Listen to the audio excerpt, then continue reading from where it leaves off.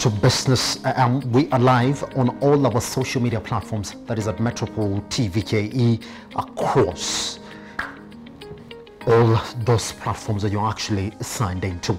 So now, our review is pretty much going to focus on exactly what the COVID-19 pandemic is doing to the economy so far. Now, as we do know, this has really now turned into a global concern. We can only trace the effects in the country as of 13th March 2020, but what we do know now is that it's gone worldwide. Now, the country is taking a raft of measures, but I want us to start from the announcement that was made yesterday by the health by the health CS Mutahi Kagwe so that we do know what numbers that we're talking about this morning and who is in these numbers as well.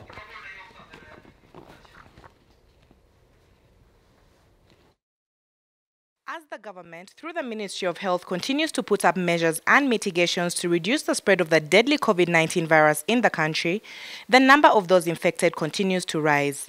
Today, the Health Cabinet Secretary Mutahi Kagwe reported an additional nine cases, bringing the total number in the country to 25. CS Mutahi reported that the nine new cases who have already been isolated were found to be positive from 82 samples of suspected cases that were tested by doctors. The total number of confirmed COVID-19 cases in to 25. The CS further said that the government has identified four counties, including Nairobi, Mombasa, Kwale, and Kilifi, as the high risk counties in Kenya. He added that 98 of the 745 people who are being monitored for coming in close contact with the infected people have been discharged after the 14 days of the quarantine period. These confirmed cases are spread out in four counties, namely Nairobi, Mombasa, Lefe, and Kwale. The total number of close contacts that we have so far been monitoring stands at 745. Out of number, 98 of them have been discharged after completing the four-day follow-up period. Kagwe added that the high number of travelers at the Jomo Kenyatta International Airport and other entry points has been a challenge to the government that has embarked on a mandatory quarantine for all international passengers. There has been challenges, particularly Jomo Kenyatta International Airport, as well as the designated hotels and government facilities. Today, the country received 25,000 testing kits for the coronavirus from Chinese business mogul Jack Ma. Health Cabinet Secretary Mutahi Kagwe says mandatory testing will be carried out on all contact cases as the fight against COVID 19 intensifies. Now, you actually do say that now these cases, which actually did start in Nairobi, are spreading, which means that it's not only Nairobi now, which is being treated as the center of the COVID-19 cases, because as we do know of yesterday, we did have 25 confirmed cases in the country and four counties already in the locked in the numbers as well. So now the next conversation that we're talking about this morning, therefore, is who is actually getting these cases moving.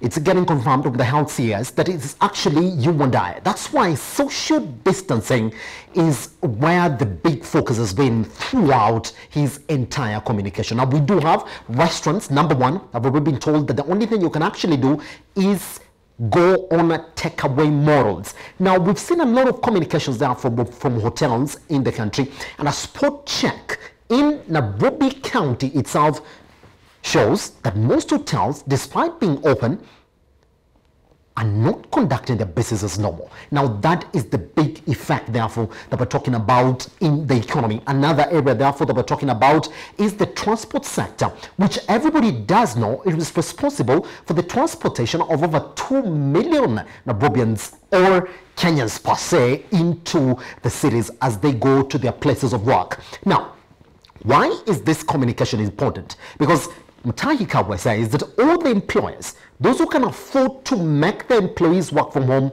they should adopt that model right now. And we do know that the public transport sector is one of those areas in which social distancing was going to be a problem. But what it's doing now, as we do know of it, is that it's having a ripple effect on the businesses of the people who actually get into the CBD. Now, the public sector, transport in that order, is calling on the government to put in place a raft of measures that are going to cushion them from the effects of the COVID-19 pandemic. Now, why is this important this morning? Because now we're talking about fuel prices being retained at the same level. We are talking about distancing and the number of matatus that have been allowed on the road from each circle still being retained, which pretty much means that the supply in that case is going to be lesser than the demand. The demand is not there, and also now the supply has also been lessened to that point. So the only person who actually gets to be affected within this equation are the Matatu owners. And so what are they calling on the government to actually do when most of them are making losses of upwards of 40%? Let's look at how they are managing this morning.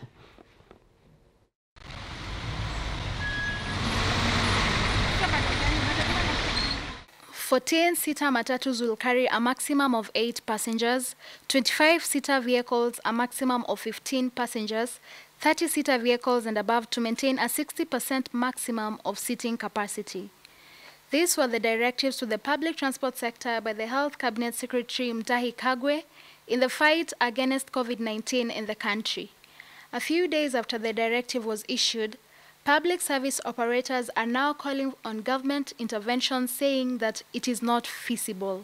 Tungeomba hii serikali tafadhali, kama inajali mwananchi, tunajua yenyewe kuna hiyo shida ya corona na si ilikuja kama watu hawajajipanga. Gava yenyewe irudi chini, ipange kama ni mafuta, wajaribu kupunguza hii mafuta, ndio at least hizi gari ziweze kusustain kwa barabara. Tungeomba serikali ifanye kama ni subsidy ya mafuta, ituuzie mafuta rahisi kidogo. The solution can only come through reducing the, the fuel prices because he, if it does not do that, we are going to get affected and we may be pushed out of business. The operators say that if they must follow the directive, which dictates that they carry a fraction of the usual passengers, then they have to devise ways of making ends meet. They have in turn gone ahead to hike prices, regardless of the government warning business people not to take advantage of the COVID 19 pandemic. Travelers within Nairobi are paying double the price of bus fare, while long distance traders are paying at least 200 more Kenyan shillings, the usual bus fare. Kutoka hapa mpaka Nakuru tunalipisha mia sita.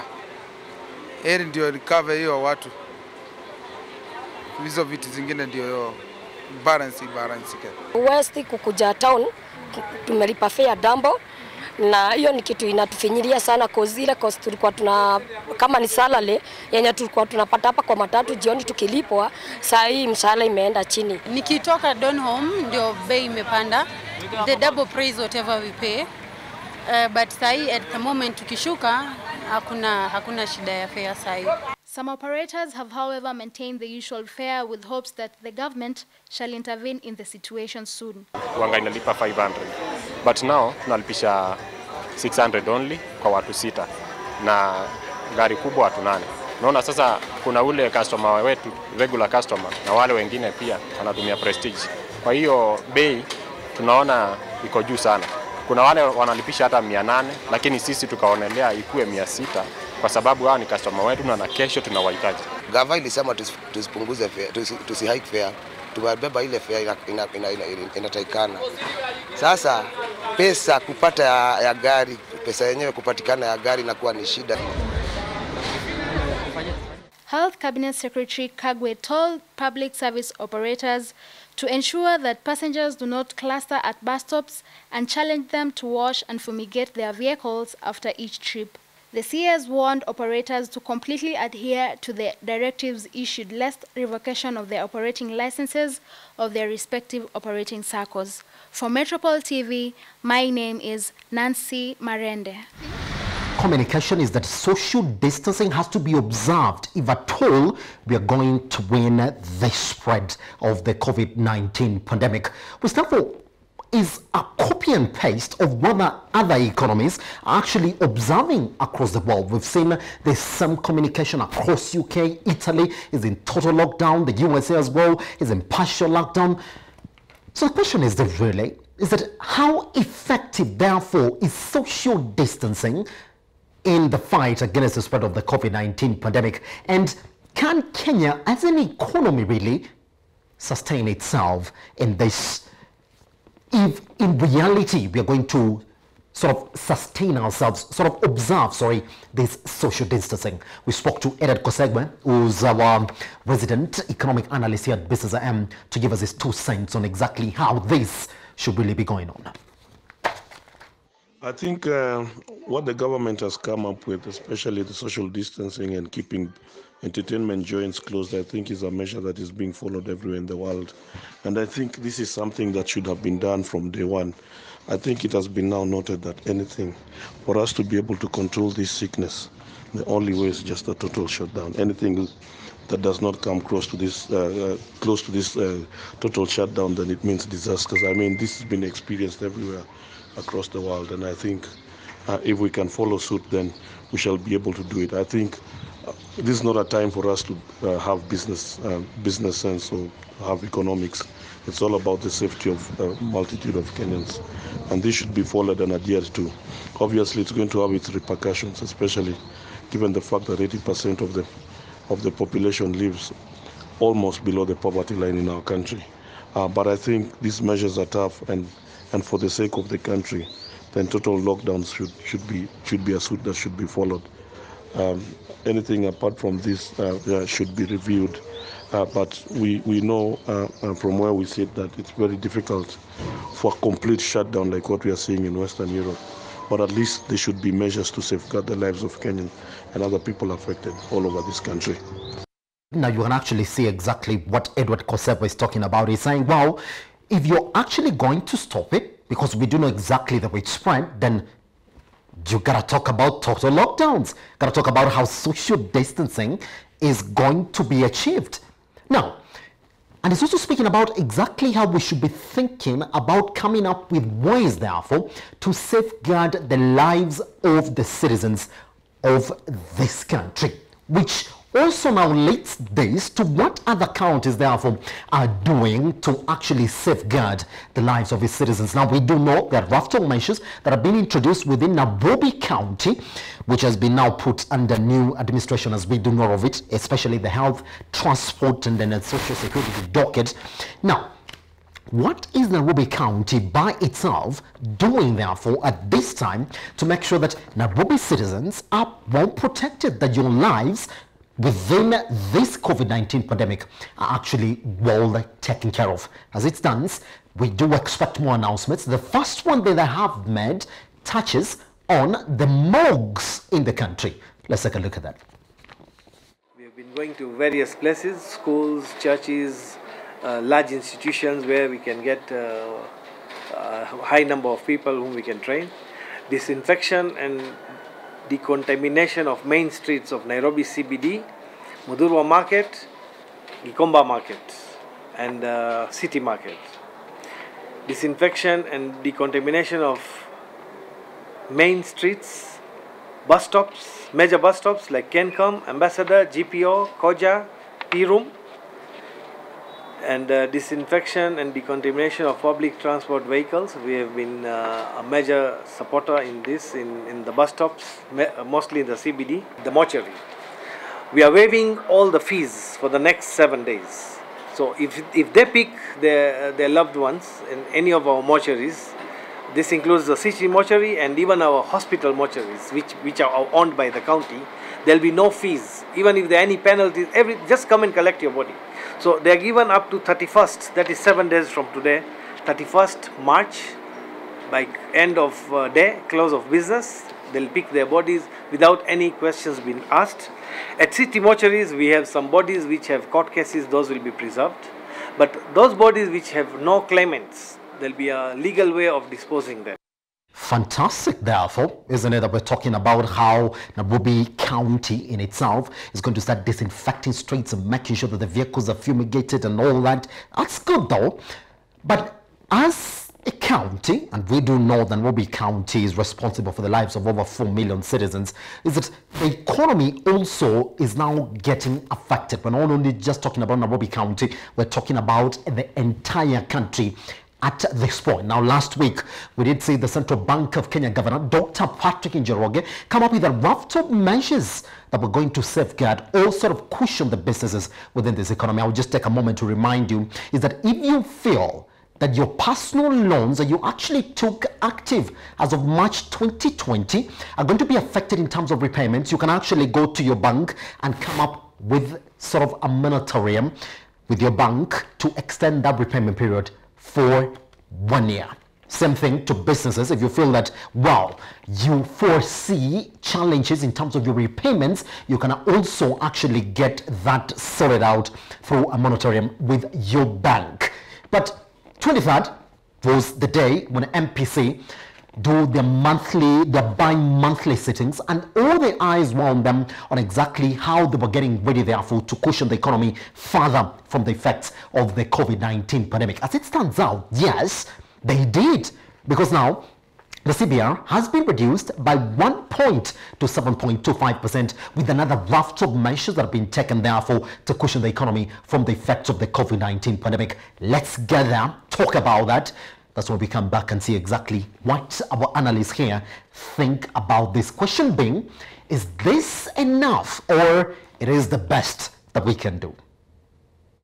Yesterday, the Monetary Policy Committee lowered the benchmark lending rate by one percentage point from 8.25% to 7.25% with a view to lowering the interest rate on loans, particularly at this time when the country is battling the COVID 19 virus.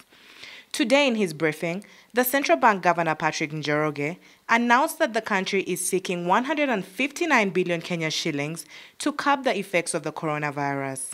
Njoroge says that although the request for the emergency support of the money is yet to be granted, the government remains optimistic that the money will be granted at the beginning of next month. Those facilities are coming. I think uh, we'll be having, in the context of the announcements of uh, the, uh, the, the fiscal measures, which will happen very shortly, in, the, in a matter of days. The central bank has further lowered gross domestic product growth to 3.4% following the impact of COVID 19 that is slowing down the economy. Expect some new flows in the very near term, and these are related to the crisis, and this relates to the, uh, let's say, IFIs, um, international financial institutions. So, for instance, we are expecting uh, emergency. We've, we've already made a request um, to the World Bank on emergency support related to the coronavirus that will be directed to or to, to the Minister of Health, the various operations that they are doing, the Minister of Health. There is, the request has already been sent in, and therefore we expect something in the order of 50 million US, uh, US dollars um, in the very near term. Governor Njoroge says that much as measures have been put in place, like lowering the lending rate, borrowers may have to wait a little longer before they begin to feel the impact. Banks are liquid. Um, there's ample liquidity, uh, overall liquidity, but you could end up getting pockets of uh, tightness or specific institutions or specific areas. And so that's why we need to be sure we need to ensure that uh, it doesn't become a liquidity problem, either generally, but more specifically in uh, specific points. On the total lockdown of the country, Njoroge says the Central Bank of Kenya has discussed with banks to ensure they put in place measures to ensure they can deal with the glaring crisis. And the issue there would be if people, uh, let's say, let go, so job losses lead to obviously problems in their repayments. And uh, also it leads to significant anxiety and stress. So the idea is to ensure that it doesn't get to that point. So the MPC, the MPC's decision, or the decision that the MPC took, have to be seen against the backdrop of decisions taken last week. The central bank governor just last week issued a raft of measures to be followed by banks in the fight against COVID 19, including pushing for digital transactions. Now, the CBK governor says, good, we do acknowledge that in reality, therefore, that we have to talk about liquidity issues that are going to be followed by the effects of the COVID-19 pandemic on the economy. He acknowledges that, yes, the banks are pretty much liquid.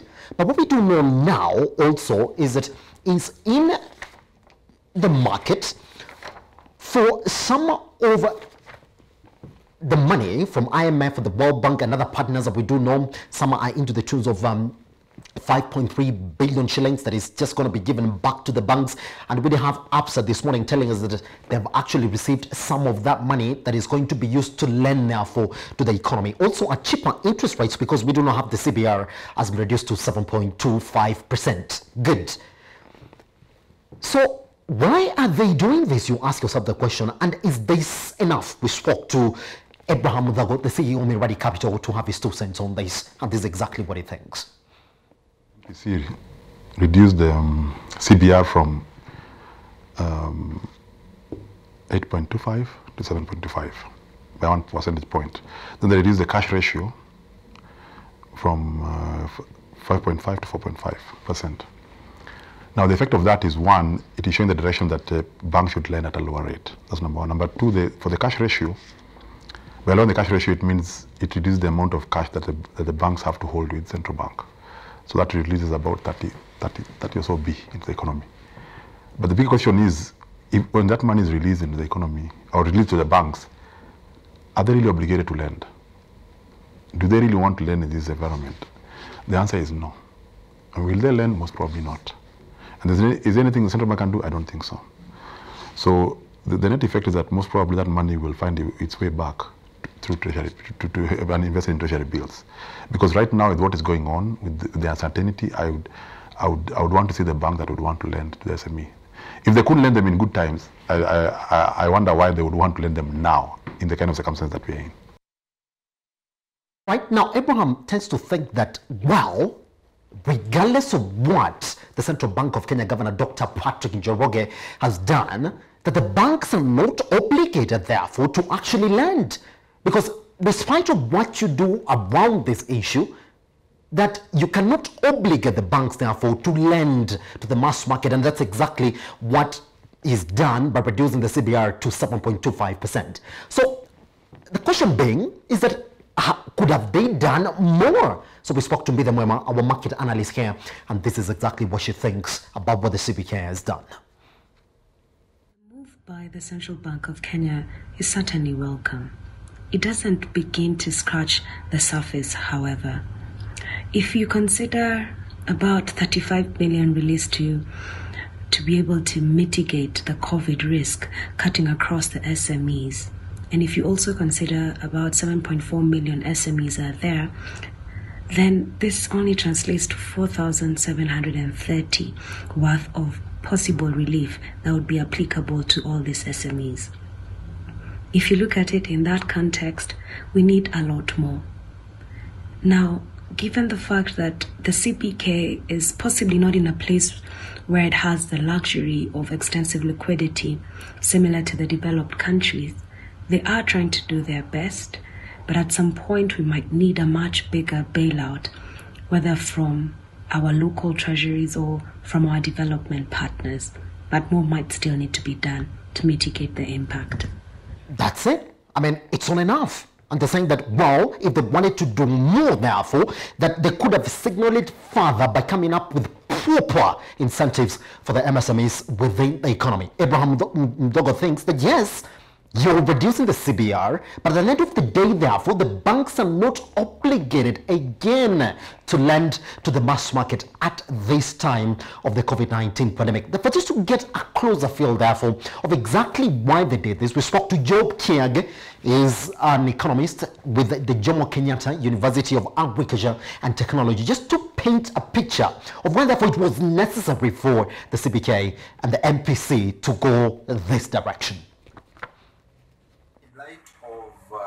Adverse economic outlook, the Monetary Policy Committee sat on 23rd and uh, they came up with actually two or three uh, ways in order to negate the financial and economic crisis, maybe that might be impending in the near future. Number one, they lowered the central bank rate from uh, 8.25 to 7.25. Number two, they reduced the reserve ratios, that is the cash reserve ratios, from 5.25 to 4.25. And number three, they released some 35.2 billion uh, additional liquidity to uh, uh, directly to commercial banks to support the, the distressed kind of uh, um, financial houses, the commercial banks. Uh, what we are looking at, uh, the central bank is trying to increase the money supply in the economy. And uh, as a result, uh, we are trying to see that they are trying to cushion the, the, the consumers to continue with their normal consumption. For instance, we are looking at uh, some of the financial institutions which are having uh, having uh, some challenges. For instance, we are looking at uh, the non-performing assets, the non-performing loans.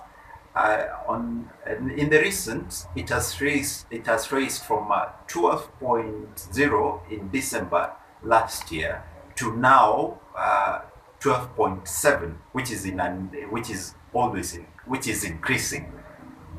Now, when the central bank through the monetary policy committee sat down and uh, realized the fact that in order to negate this crisis is to increase the money supply in the economy. And this kind of policies that they came up with only thing that we are looking at they are trying to increase this money supply in the economy in order for in order for uh, in order to cushion in order to cushion uh, the consumer and whenever we are talking about the consumer, we are talking about the households and the farms.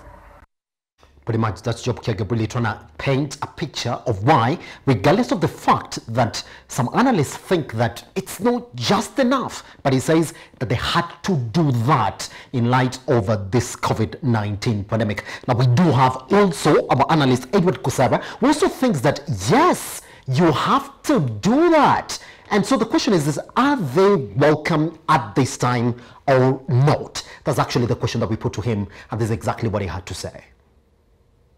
Question on, on interest rates. Uh, we must be we must understand that interest rates, where, where where the central bank or the monetary policy committee wants to bring down interest rates is for businesses to be able to borrow.